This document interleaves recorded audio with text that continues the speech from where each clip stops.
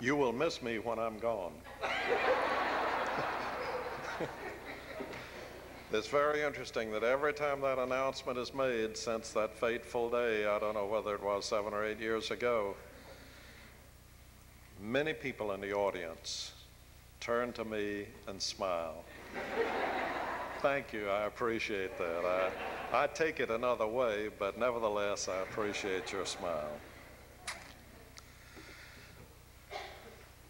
As uh, Mr. Pryor mentioned, we are continuing the exposition of the book of Revelation, and fortunately, for those who must have an emphasis upon the resurrection on Easter morning, we do have that emphasis in the very first verse of chapter 2, verse 1, and we'll comment upon it in time. We have given three messages on the book of Revelation to this point, and we're beginning the second division of the book, the letters to the seven churches, which are given us in chapters 2 and 3. And we are taking this as the threefold division of the book. The vision in chapter 1, and then the letters to the seven churches in chapters 2 and 3 and in chapter 4 through the remainder of the book, emphasis upon the things which shall be hereafter. So turn with me now to chapter 2, and we'll read verse 1 through verse 7 for our scripture reading. The apostle writes, Unto the angel of the church of Ephesus write, these things saith he that holdeth the seven stars in his right hand, who walketh in the midst of the seven golden candlesticks. I know thy works, and thy labor, and thy patience, and how thou canst not bear them which are evil. And thou hast tried them which say they are apostles, and are not, and hast found them liars, and hast borne, and hast patience, and for my name's sake hast labored and hast not fainted. Nevertheless, I have somewhat against thee. The authorized version uh, clearly leaves a wrong emphasis by the way in which it has rendered these verses, this verse because I have somewhat against thee suggests that it's a rather minor thing. It's much better to read it translated as it is in most of the modern versions Nevertheless, I have this against thee because thou hast left thy first love. Remember, therefore, from whence thou art fallen. And you can see from the use of that term fallen that our Lord considers this a very serious matter that he complains about. Remember, therefore, whence thou art fallen and repent and do the first works, or else I will come unto thee and will remove thy candlestick out of its place, except thou repent. But this thou hast, that thou hatest the deeds of the Nicolaitans, which I also hate. Incidentally, we will not undertake to expound this text, verse 6, because this again comes before us in one of the other letters, in fact, in two of the other letters, but it is mentioned specifically in one of the other letters, and we'll deal with the Nicolaitans at that point. And finally, verse 7 He that hath an ear, let him hear what the Spirit saith unto the churches. And notice the plural. For all of these letters are addressed not simply to the historical church, but also to the whole of the church. He that hath an ear, let him hear what the Spirit saith unto the churches.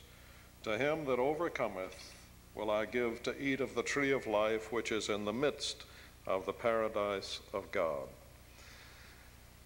May the Lord bless this reading of his word, and let's bow together in a time of prayer. Father, we thank thee for all that this first day of the week represents thank thee for the encouragement that is given to us when we reflect upon the fact that the early church began to worship on the first day of the week after having spent most of their lives worshiping on the seventh day. And we recognize in this historical support for the significant ministry of our Lord and Savior Jesus Christ, who on Good Friday gave himself a satisfaction for sin, shedding his blood for sinners that we might have life, who rose on the first day of the week, an event so majestic, so significant, that those believers began to meet on the first day of the week to remember that their Savior and ours is alive. We thank Thee for the encouragement and for the truth. And we pray that we may never, as we meet Sunday after Sunday, forget that we are celebrating the fact that He is alive. At one time dead, as He says in this very book, the book of Revelation, at one time dead, but now alive forevermore. We thank Thee for the whole church of Jesus Christ. We pray Thy blessing upon the entire body and for all of the members of that true body of believers over the face of this globe. We thank Thee for the universal outreach of the ministry of the Holy Spirit in gathering His own people in from so many places so that some from every tribe, kindred, tongue, and nation shall confess that Jesus Christ is Lord to the glory of God the Father. We thank Thee, Lord, for the privilege of proclaiming Him in the city of Dallas and to people who live in other places through the ministry of this little church. We pray Thy blessing upon its outreach over the radio, over the tapes, and on the written page. And for other churches that name our Lord as Savior and Lord, we pray for each one of them as well. Bless them richly this day. We look forward to the day when we shall meet in heaven around the throne of the triune God. We pray, Lord, for those who've requested our prayers, for those who are sick, some bereaved, who need ministry from Thee O God, minister to them through the Holy Spirit. Accomplish their, thy will in their lives. Give healing where healing is desired. And we pray also that by thy grace, those who minister to them may minister effectively. The physicians, the families, the friends, we commit them all to thee. We pray now thy blessing upon us in this meeting May the ministry of the Word of God, may the hymns that we sing glorify thy name. We pray through Jesus Christ our Lord. Amen.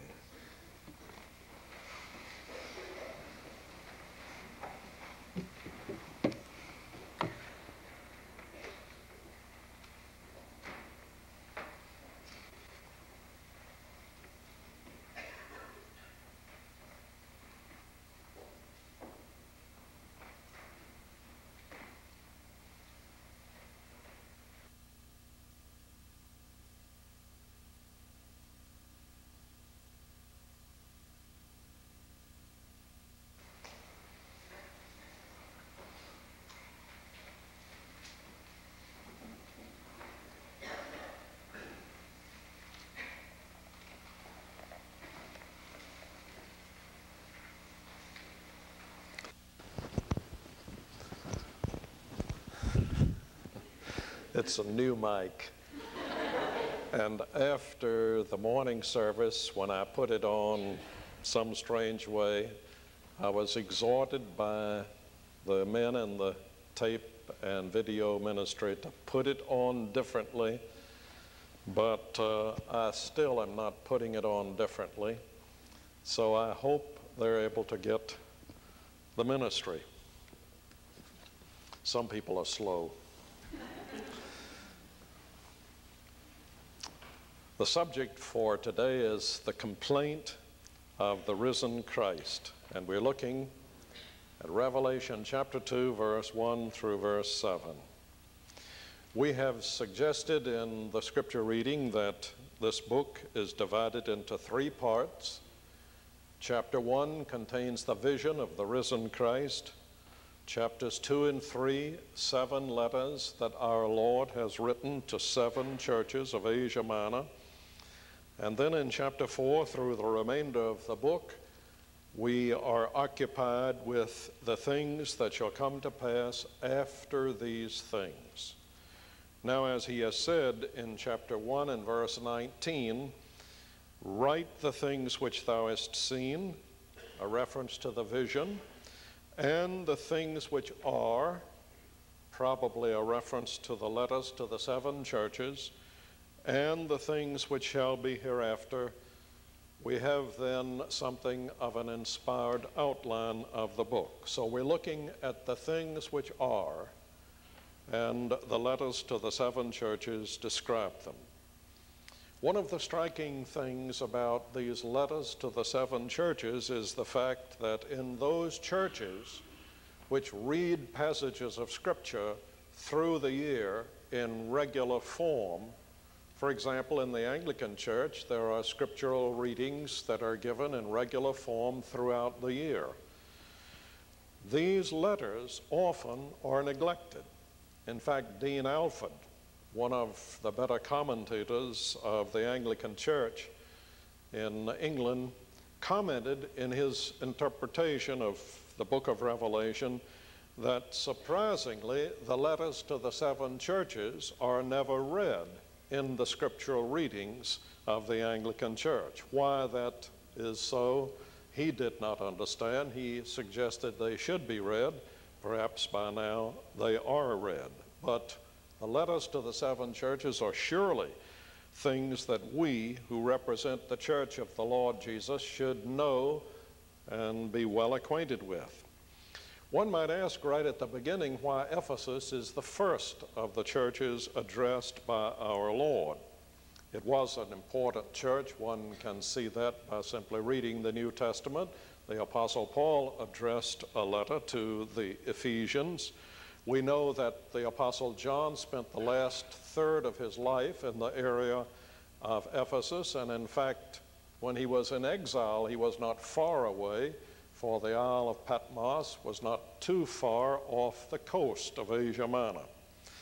The seven letters are addressed to seven churches, and Ephesus is something of the southwestern part of the circle of churches which rise toward the north and then come down toward the south and east, so that there is a loop of churches addressed by our Lord. We know that Ephesus was a very important city commercially. It was located on the Cayster River, and the trade of the Cayster River Valley uh, there consummated at the city of Ephesus. Three great roads in ancient times touched Ephesus the road from the Euphrates from the east, and then a road from the north and a road from the south met in the city of Ephesus so it was an extremely important city. Like Corinth, it has been called the Vanity Fair of the ancient world. We might call it the Vanity Fair of Asia as over against the Vanity Fair of Europe if Corinth really was such a city as that, and it seems to have been. Politically, Ephesus was a free city. It was not the capital of the Roman province of Asia. Pergamum was, and we, of course, have a letter addressed to Pergamon later on.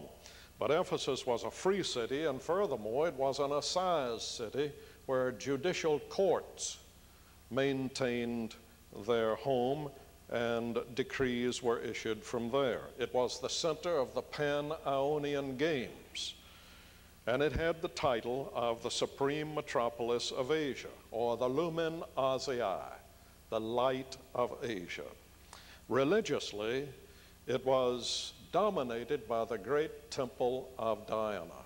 Reading the book of the Acts, for example, we have the rout in Ephesus and men shouting, Great is Diana of the Ephesians. And if you have been to the ruins of Ephesus, you know that this was one of the seven marvels of the ancient world, the great temple of Diana. So, this is a very religious area. It was a very wicked area. Heraclitus said that as far as he was concerned, he wanted to stay away from Ephesus if at all possible. So one can see perhaps why Ephesus is the first of the letters addressed. Now we're going to take these letters in this way. We're going to understand that they are local churches located in historical, geographical areas, and we're going to look at them in that way first of all. We're going to think of them as representative of universal churches of Jesus Christ. In other words, the things that we see in these historic churches, historical churches of the past, we expect to see in churches today. The things that existed then will probably exist today.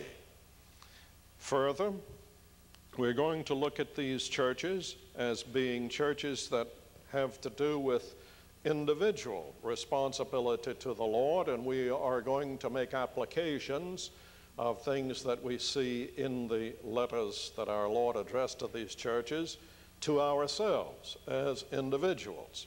It's not simply an ecclesiastical kind of application, but an individual application as well. Whether these churches have any prophetic significance or not, of course, there are texts that have to do with the prophetic future in them, our Lord speaking of his coming from time to time, but whether there is a kind of prophecy of the history of the Christian church in the seven churches, I doubt very much that that was the intent of our Lord. Some have made great points over that fact. It is interesting that the last church is the letter to the church at Laodicea, and uh, other passages in the New Testament make it very plain that the condition of the church in the last days is a condition of Laodicean decline and departure from the truth. However, I do not feel from a fairly careful study of this that one can support that particular interpretation of the seven churches. Some think that that is possible. We'll leave that for you to make up your own mind. Ephesus was now about 40 years old as a church when the Lord Jesus addresses them with this letter. Now we're going to notice too that each of these letters follows a somewhat similar pattern. There is an address to the angel of the church, and then a description of our Lord, which is given usually from some feature of the vision of chapter 1. And after that, there is usually a commendation of the church by the Lord, a complaint or some difficulty that he finds with the church, an exhortation, and threats with reference to their response to him and to the Word of God. And finally, each one of them closes with a promise. And we will see that that general pattern is followed in all of the messages to the churches. So, with that in mind, we look now at the opening address. Unto the angel of the church of Ephesus, write. It's remarkable how many interpretations have been given of this simple little statement unto the angel of the church of Ephesus. It would seem that the most obvious meaning is that since the term angelos, translated angel, is found numerous times in the book of Revelation, that we would take it that way. But then most of us have certain agendas that we like to impose upon Scripture. We have to avoid that, of course, at all times. And so if you have in your mind the organization of the local church as being an organization of elders and deacons or trustees or deacons, various ways in which churches are organized. And if you have in your mind uh, of that these churches should be ruled by a pastor, a minister, who has authority by virtue of his office, then it would be very tempting for you to read this unto the pastor of the church and think of the angel as a pastor of the church. I've been in lots of pastors' gatherings and I have never found any pastor yet of the evangelical faith who would be willing to raise his hand at an invitation, How many of you are angels? I don't know of anyone who has wings. And consequently, it seems to me rather strange that one would rush to that interpretation. Now, the term occurs in the book numerous times. It always means an angel. That is a heavenly being created by God. Why we should not rather take this to be an angel rather than the pastor, well, that's never been explained to me uh, satisfactorily. If this is a reference to an individual, a human individual, it would be much more likely that he should be a man with the gift of prophecy for at least a prophet, and prophets did exist at this time in the Christian church. A prophet is an individual who received messages from the Lord and who conveyed them to the church. So it's conceivable that one might have the gift of prophecy and be called a messenger, for that's the essential meaning of the term angelos, in that sense. But uh, modern scholarship has generally taken the idea taken this expression to mean either the prevailing spirit of the church, for after all, remember we're talking about a book that has many, many symbols in it, the angel being the prevailing spirit of the church, or an angelic guardian of a church, of which we know very little, but of which our Lord knows everything, and perhaps even the apostles knew things that we don't know. So we're going to take it as an angel, and we're going to take it as being an angel who acted in such a way as to be related to particular churches. If you want to call them an angelic guardian, you can. They are not specifically called that. But we're also going to acknowledge, I hate to do this, that there's a lot about this we don't know. So we're going to call it an angel and leave it that way and take the burden off of the pastors of being angelic.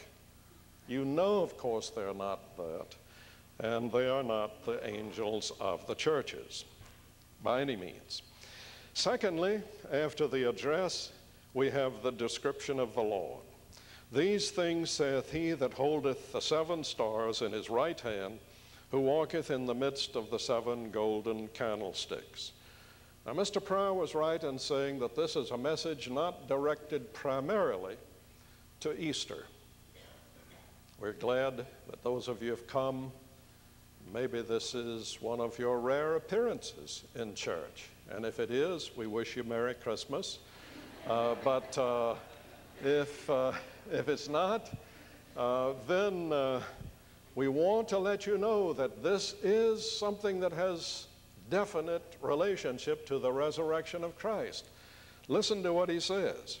He says that he is the one who holds the seven stars in his right hand. Now, the seven stars are described and defined in chapter 1 as those who are the angels of the seven churches. He holds them in his hand and he walks amid the seven candlesticks, which are defined as the churches. So here is a picture of our Lord and a message from him as one who holds the angels in his right hand and who walks. Now, notice it's not walked past tense, but who walks in the midst of the seven golden candlesticks. That is, the seven churches. In other words, our Lord is presented here as an individual who is carrying on his ministry concerned for the seven churches walking in their midst. Now, if you're a student of the Word of God, you know that the picture is of a high priest. He's dressed in those garments, as chapter 1's vision has made known to us. He walks in them as the high priest, tending to the lampstands. Now, if your mind will go back to the tabernacle and the ministry of the priests in the Old Testament, and specifically the high priest, it was the high priest's duty to enter the tabernacle and to maintain the lampstands. And so he was always careful to remove the things on the wick that might prevent it from burning properly. He was the one who poured in the oil into the lampstands. In other words, he cared for the lights of the lampstand that is in the tabernacle, the seven branched lampstand, to be sure that it was constantly burning.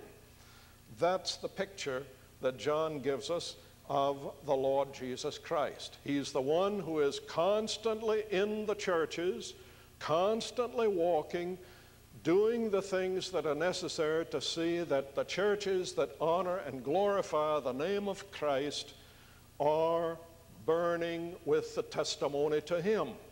Now, to my mind, that is as much a picture of a risen Christ as one could possibly have. He is here in the midst of the church of Jesus Christ, and he is careful to maintain the testimony to him. And so he does the things that are necessary that the testimony burn brightly. Where there is sin, he deals with that. And where there is need for further testimony, and improvement of the testimony, he's concerned about that. The picture of our Lord walking in the midst of the seven churches, constantly doing that, is to my mind one of the greatest pictures that we have in the Word of God concerning the life of the churches. Now, I should, of course, mention this that uh, the churches, therefore, it's obvious, are precious to our Lord and they are precious to him for the simple reason that it cost his life in order to light them. It was the blood that was shed that brought the church into being, made it possible for the lampstand to be a lampstand, made it possible for every true church of Christ to shine in every community where it shines. But it cost him his own life. Thirdly, the commendation. We'll omit verse 6 because we'll deal with that under one of the other letters. And we read in verses 2 and 3 I know thy works, and thy labor, and thy patience, and how thou canst not bear them which are evil, and thou hast tried them which say they are apostles, and are not, and hast found them liars and hast borne and hast patience, and for thy name's sake, my name's sake, hast labored and hast not fainted. A sevenfold commendation of this church at Ephesus. You can see from this, my Christian friend, that the Lord Jesus is not blind to the beauties of the church that he has created. And he praises us as churches for the things that he sees that are acceptable to him even though he is ultimately the one responsible for the beauty of the Christian church. So he praises the church at Ephesus in a sevenfold way. One might ask, could anything be wrong with a church of which the Lord Jesus can make seven specific commendations? Well, yes, something can be wrong with them.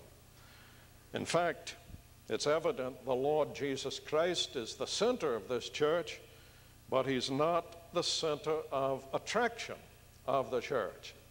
It's a beautiful picture, a true picture of an Orthodox church that fights for the truth, but nevertheless is not warm of heart toward the Lord. Even a great church like Ephesus may have its failure. and it certainly has its failure here. Now, in speaking specifically of his commendation, he says, I know thy works. That's a word that expresses active, aggressive activity for our Lord, so that the, the Lord may approve them for the way in which they have done works in the name of Christ. He praises them for their, for their labor and their endurance.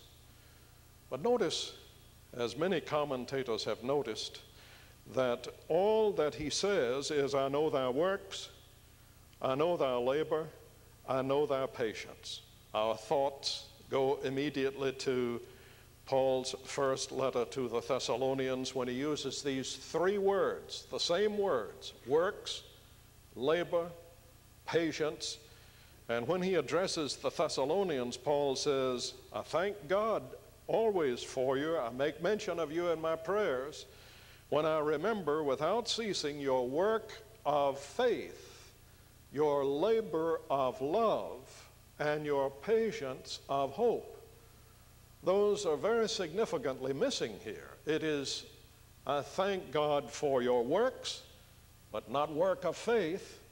I thank God for your labor, but not labor of love.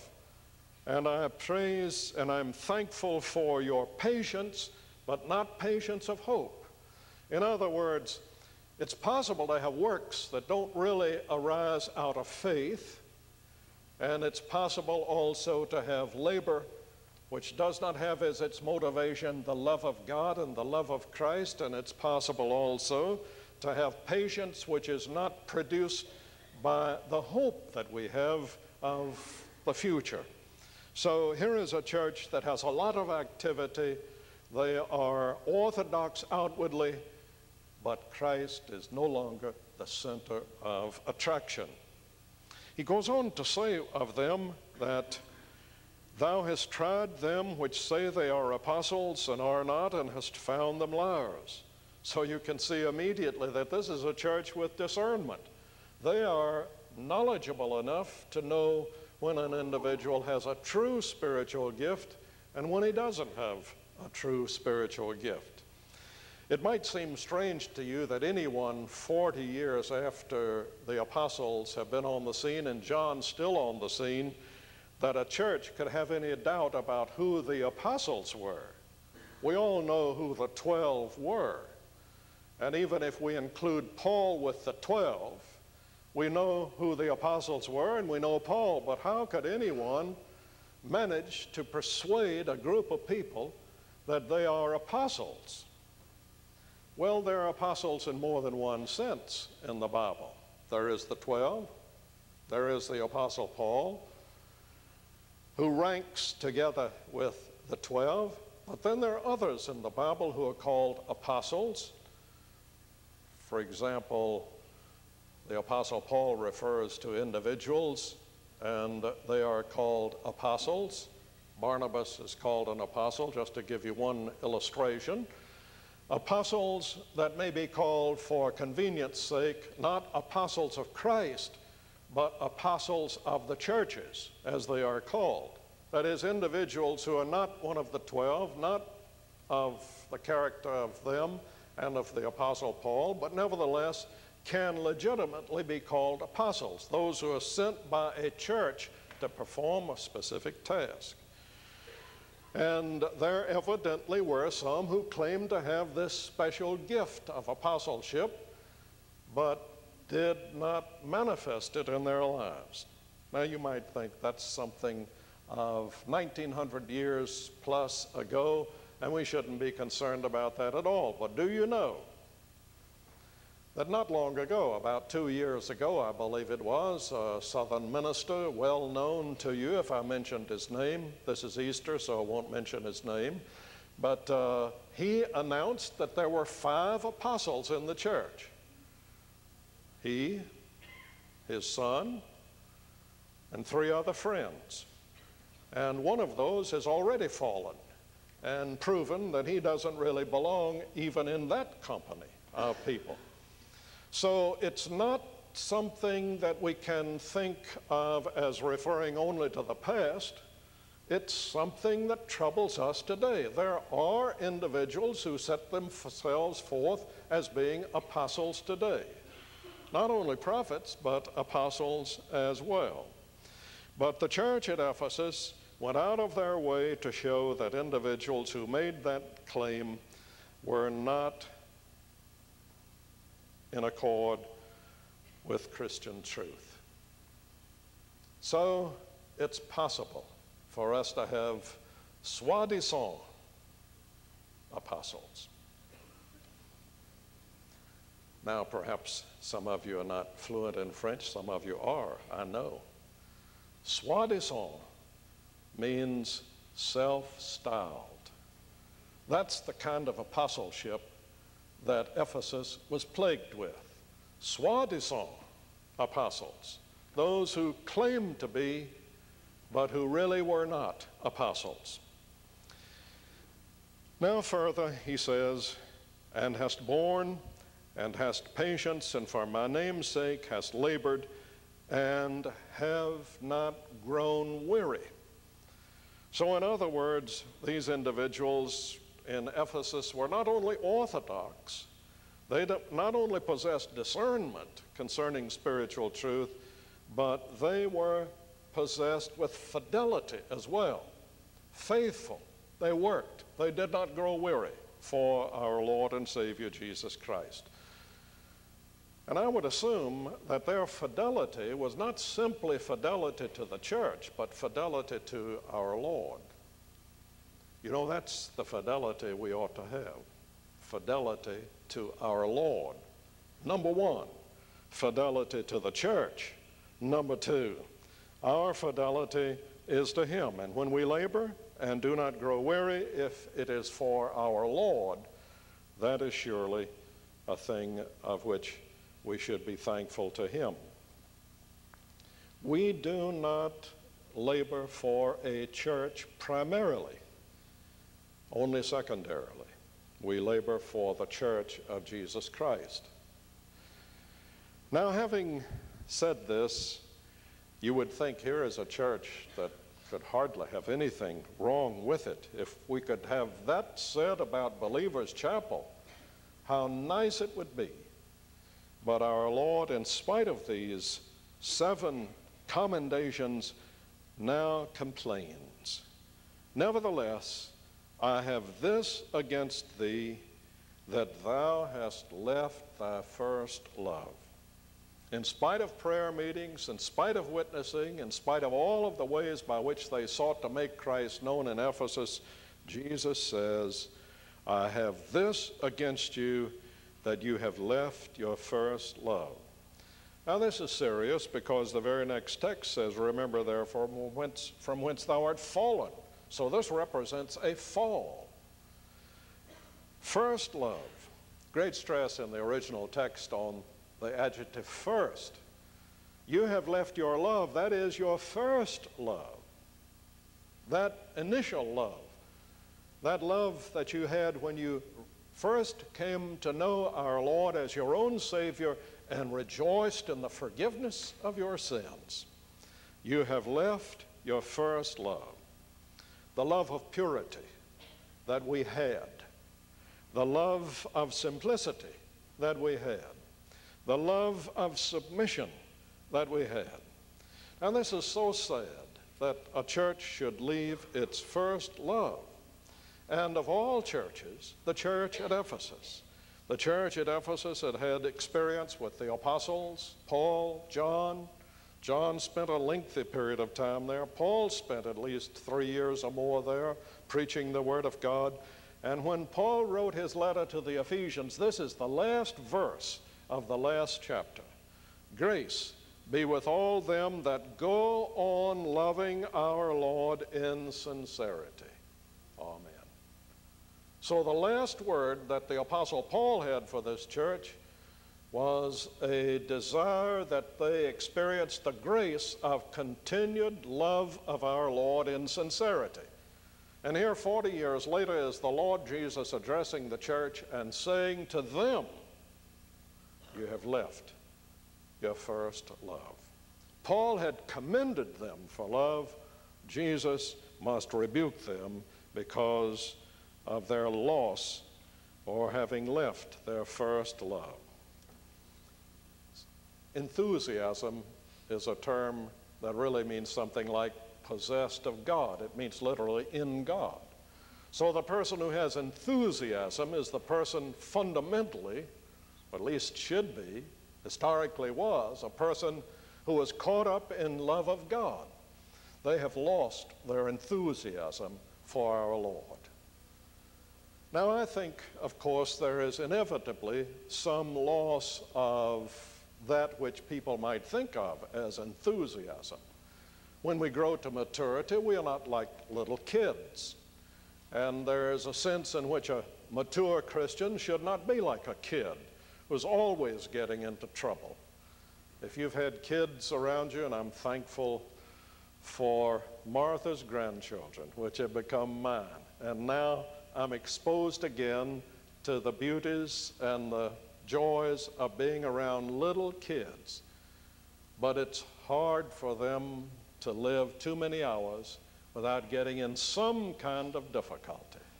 Now, new, new Christians, it's difficult for them to get along for many days without getting in some kind of difficulty through misunderstanding of the Christian faith, through saying things that they later discover they should not have said.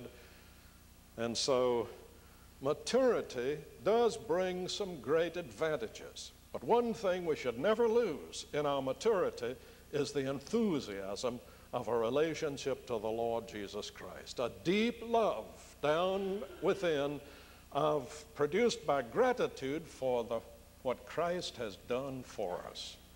How anyone can ever really become cold and enjoy it in the Christian faith, it's difficult to understand. We can become cold, but when we do, I get down on my knees and confess my sin to the Lord. Try to, hope I do, all the time, because it's so easy for us to do it. But never are we ever to be in a place where we have left our first love. Campbell Morgan, writing in uh, a message on the letter to the church at Ephesus speaks about the emphasis on Christian service rather than on Christian love, which results in a church being faultily faultless, icily regular, splendidly null. Judas would have no complaint against the church at Ephesus. Judas, who complained, Why was not this ointment to Mary and to the apostles sold for 300 pence and given to the poor, would have no reason for complaint against Ephesus because their works were manifold. Let me ask you a question, my Christian friend. Will you grieve Emmanuel? Will you grieve the one who has made it possible for you to enjoy redemption? and the sense of forgiveness, the sense of justification, the sense of a right relationship with the Lord? Will you grieve the one who has made this possible for you to enjoy? Now, after the complaint comes the exhortation. In the fifth verse, the apostle writes, Remember, therefore, from whence thou art fallen, repent, do the first works. Remember, remember the things that are characteristic of the love of the Lord Jesus Christ for us. I think of Jeremiah chapter 2 and verse 2 in connection with this, where God pleads with the nation Israel and says to them in Jeremiah 2 2, Go, Jeremiah, cry in the ears of Jerusalem, saying, Thus saith the Lord, I remember thee, the kindness of thy youth the love of thine espousals when thou wentest after me in the wilderness in a land that was not sown. God trying to remind Israel of the way in which they had responded to his love for them in the earliest day, the love of his espousals.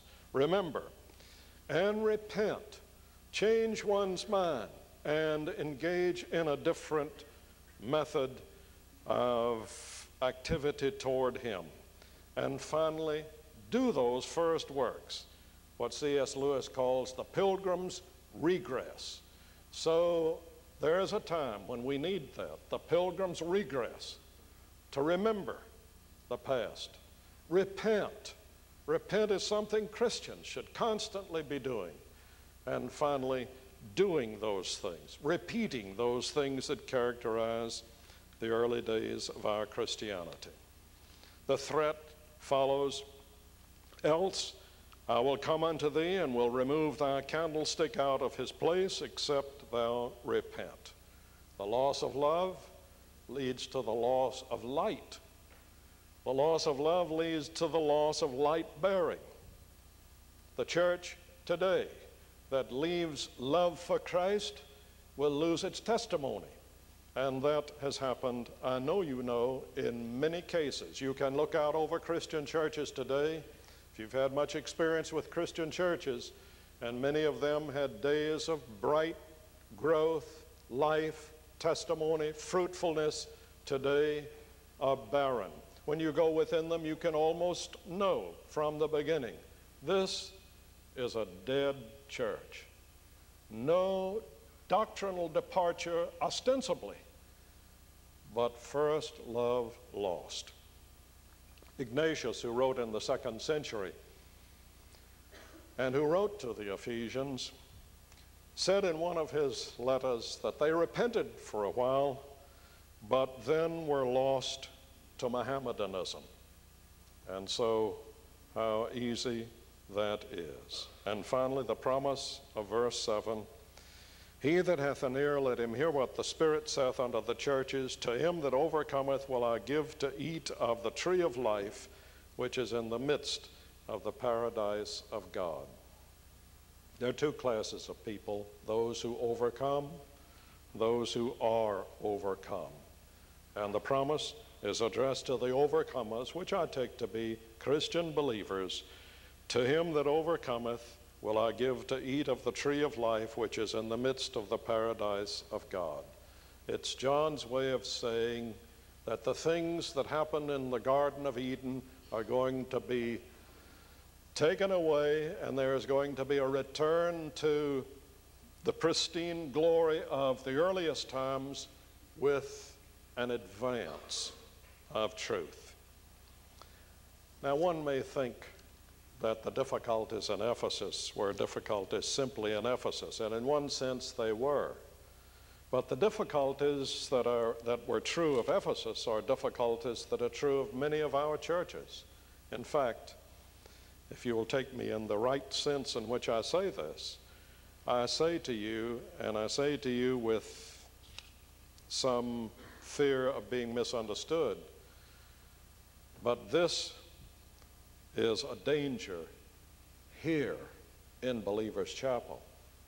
That we shall love the truth so, and the orthodoxy so, that we forget the vitality of the love for Jesus Christ and the love for one another.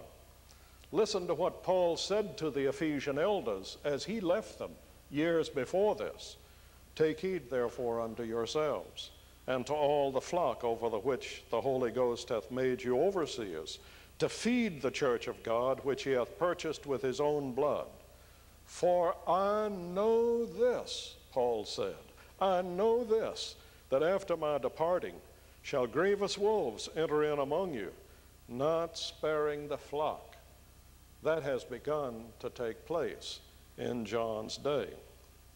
So I call upon you in Believers Chapel to remember, to repent, and to do the first works. What are they? Committal to Him, committal to His Word, reminders of what we were, and reminders of what He has done for us. There's a marvelous old story, I'm sure you may have heard it, about a man who was preaching to some Indians many years ago. I like this story because it's so revealing of human nature. but in the West, a missionary was speaking, and he was speaking in a tent, and there were Indians gathered around him. He was talking about the gospel. He began to speak of our Lord, and after he'd spoken for a while, the Indian chief arose. He walked forward, he laid his tomahawk down in front of the missionary, and he said, Indian chief, give his tomahawk to Jesus Christ. He sat down, the missionary continued to preach, and came closer to the cross of Jesus Christ. And then the Indian chief stood up, walked forward, motioned to some men, called his pony over behind the preacher, and he said, Indian chief, give his pony to Jesus Christ. And he went back and sat down.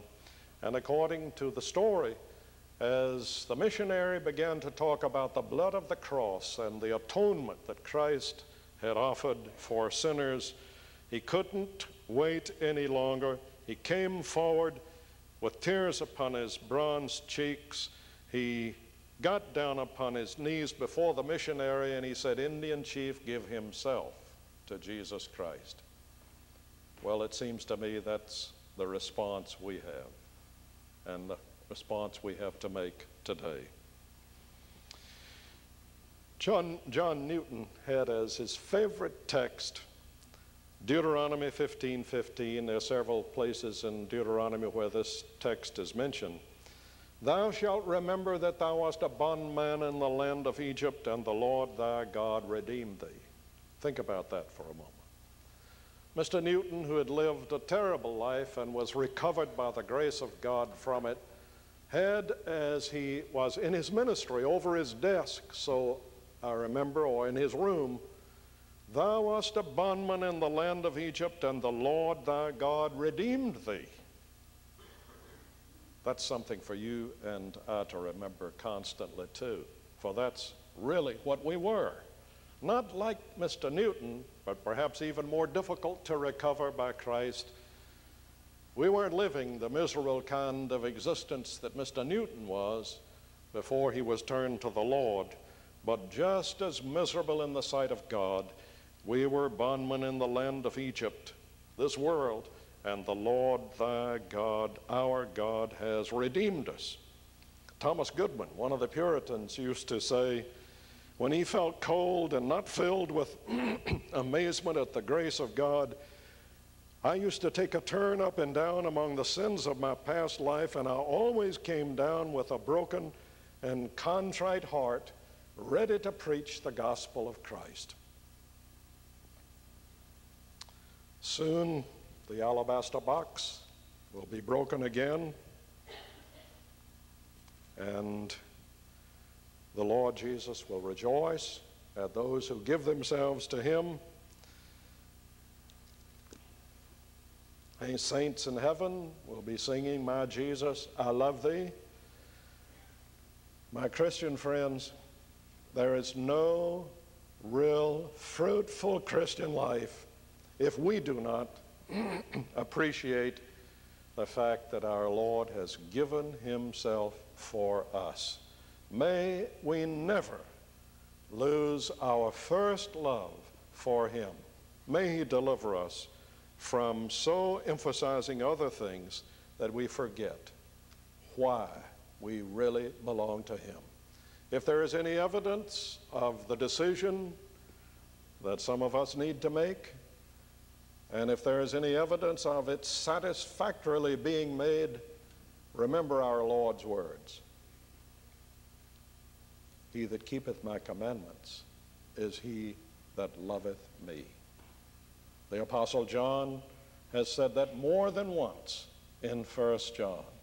The one who loves our Lord is the one who keeps his commandments.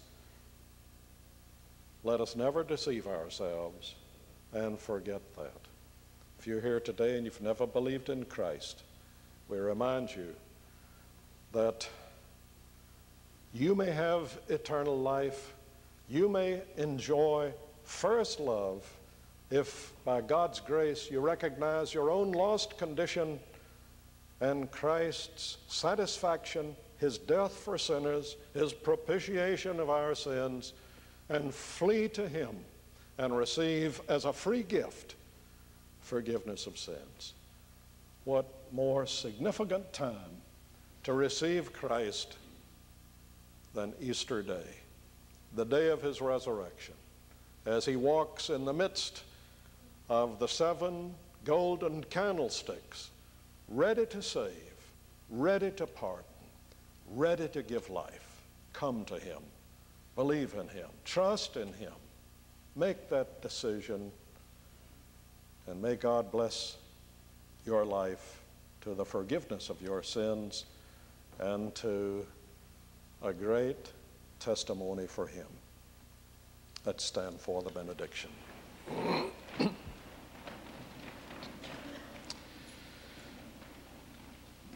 Father, we are indeed grateful to Thee for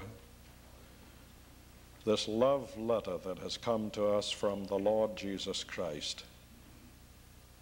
To our great high priest who trims the lampstands of the churches, concerned, who loves, but who also disciplines and rebukes. O God, we pray that if there are any here who have never believed in Christ, that they may at this very moment turn to Him. Give thanks for the blood that was shed for sinners, acknowledge their place among that company, and by thy grace receive the gift of new life, transformation within, and deliverance from the burden and guilt of sin. Go with us as we part for Jesus' sake. Amen.